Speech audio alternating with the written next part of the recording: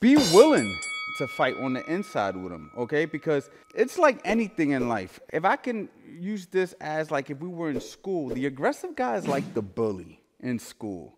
And if you don't stand up to the bully, they just keep bullying you and bullying you, right? At some point you have to say, yo, I'm not, I'm not, I don't care. I'm like, I'm willing to fight. So once I get on the inside with Eddie and Eddie presses back and shows me now he's willing to work also now we're going to find out a few things. And if you have those other skills that I've talked about earlier, like good defense, catching and countering, fighting on the inside, you're not going to panic, okay?